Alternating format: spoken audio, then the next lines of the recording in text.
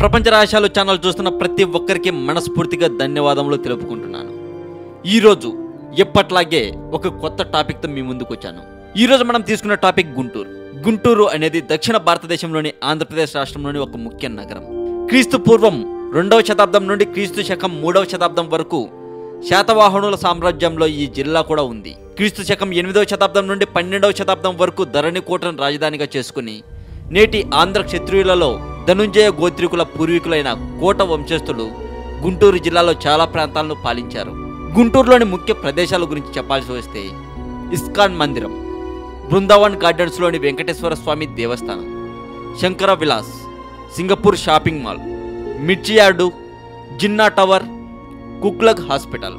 ఇవి మనం చెప్పుకోదగ్గ ముఖ్య ప్రదేశాలు. ఈ ప్రదేశంలో నుంచి జిన్నా టవర్ గురించి ఒక్కసారి చెప్పుకుందాం. గుంటూరు నగరంలో ఉన్న చారిత్రాత్మక కట్టడం ఇది. దీనికి పాకిస్తాన్ జాతిపిత అయిన మహమ్మద్ అలీ జిన్నా పేరు పెట్టడం జరిగింది.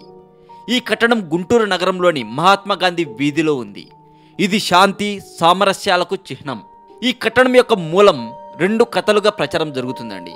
మొదటిది జిన్నా యొక్క ప్రతినిధి గుంటూరు నగరానికి వచ్చినప్పుడు ఆ సందర్భానికి చిహ్నంగా లాల్ జాన్ బాషా ఈ టవర్ని కట్టించి జిన్నాని గౌరవించారని రెండవ దాని విషయానికి వస్తే గుంటూరు మున్సిపల్ చైర్మన్లుగా పనిచేసిన నడింపల్లి నరసింహారావు తెల్లాకుల జాలయ్య వారి వారి పదవీ కాలంలో శాంతి సామరస్యాలకు చిహ్నంగా దీనిని కట్టించారని చెబుతూ ఉంటారు.